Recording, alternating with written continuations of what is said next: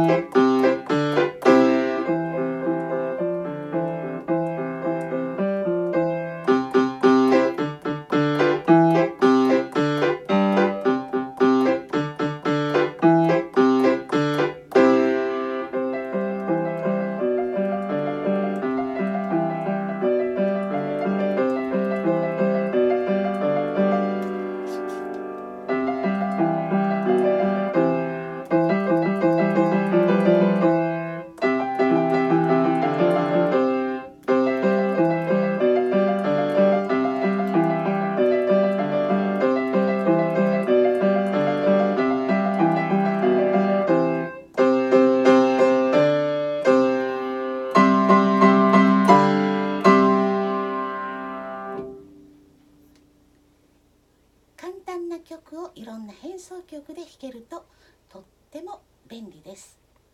コードをつけてみたりいろんな伴奏系で弾けると演奏の幅も広がります。アビニオンの橋の上ででした。